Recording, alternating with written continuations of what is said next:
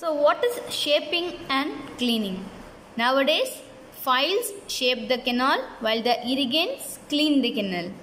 So cleaning and shaping of the root canal consists of removing the pulp tissue and debris from the root canal and shaping the canal in order to facilitate proper irrigation and in order to receive an obturating material. These are the important Viva, Viva question that is Schilder's objective. Schilder has given mechanical and biological objectives. So what are the objectives of Schilder? Mechanical objectives are 5 points and biological are 4, totally 9 points. So we should give the root canal a continuous tapering conical shape. Okay. Such that the narrowest cross-sectional diameter will be apically and the widest diameter will be coronally. So that we can get a conical shape. Then the wall should taper evenly. Then the prepared root canal should give a quality of flow to the irrigant and the obturating material. The apical foramen should be kept as small as practical. Should shape and clean the canal without transporting the apical foramen. So apical foramen should be as small as practical and we should also not transport it. The biological objectives are the instrumentation must be confined within the roots and then we should ensure that we are not going to push the debris beyond the apex and we should remove all the tissues and necrotic debris from the root canal space and we also need to create a sufficient space for the optimal obturation of the radicular spaces. So these are the principles of root canal preparation. So outline form, outline form is actually existing from your axis preparation to the tip of the root. So this is your convenience form. D is your convenience form. Well, the most important part comes here. A is the radiographic apex, while B is a resistant form of the cavity. So B is the point where we will develop an apical stop or an apical seat. Okay, so if you are going to uh, do a preparation beyond this point, what happens? That uh, the resistant form of the tooth will be reduced. So retention form that is creating an apical tuck back position. This C denotes a retention form. So these are the important principles of a root canal preparation. Okay. Now let us get introduced into the terminologies that are used in your apical preparation. Apical stop. Apical stop is a barrier at the preparation in. So we are going to create a barrier. While apical seat is a lack of complete barrier but a presence of a constriction that represent an apical seat. Therefore, uh, in Viva they will ask you about the difference between an apical stop and a seat. We, we must be very careful in differentiating them.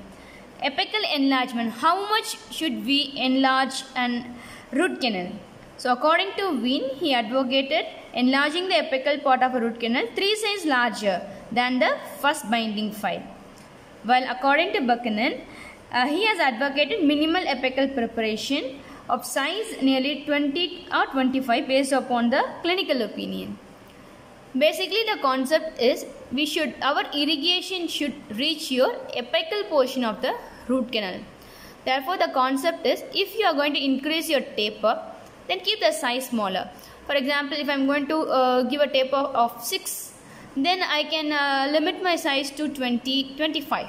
So if I am going to um, limit my taper that is I am going to prepare my canal only to a taper of 4 4% then automatically I should increase the apical diameter that is up to 30 so the main concept is the our irrigation solution should reach the apical third of the root canal okay?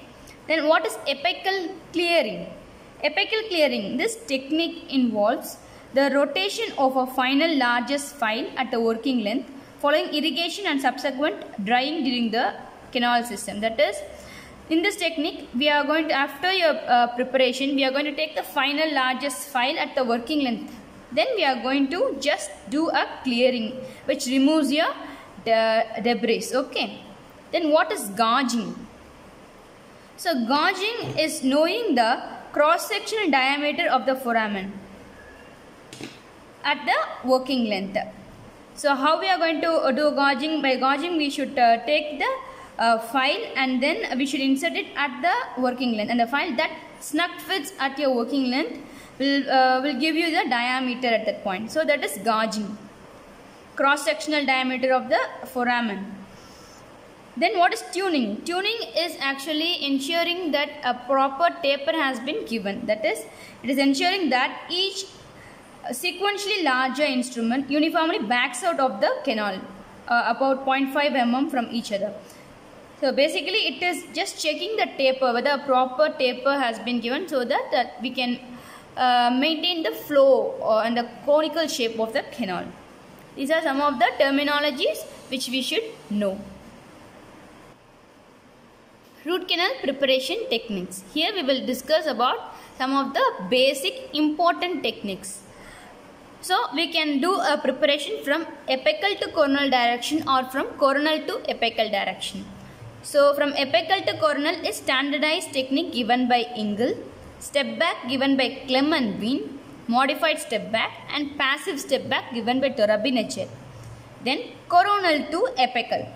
There is crown down given by Goericke, crown down pressureless given by Marshall, hybrid technique, double flare technique by Fava, modified double flare and balanced force technique Roane and Sabala. Now let us discuss about the Ingle standardized preparation technique. After opening the axis and locating the orifice, they will take the initial apical file to the working length and from the working length they will do circumferential filing to increase the diameter of your uh, diameter at the apical constriction such that it is 2 to 3 times larger than the initial apical file. So this is standard uh, standardized technique by Ingle. We will take a file we will uh, insert it directly to the working length then we will increase the size of the uh, size of the canal by 2 to 3 times larger at the working length. Okay? The uh, so what is the disadvantages here is increased ledge formation and difficulty in irrigation of your apical third. Now let us discuss about the step back technique. It is also called as telescopic technique or serial root canal preparation. So Mullaney has divided this technique into two phases. First one is preparation of apical constriction. Then we are going to, in the phase 2, we are going to prepare the remaining part of the canal. So we have to open the axis, gain access, locate the orifice and then insert your initial file to the working length.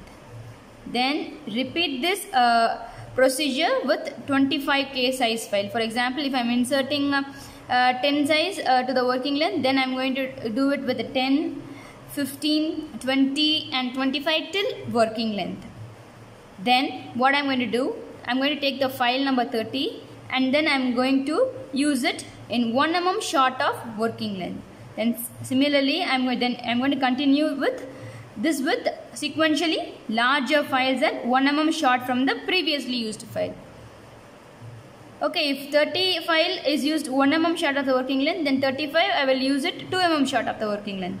In this way, I will do the preparation. Then finally, we have to refine the root canal by master apical file.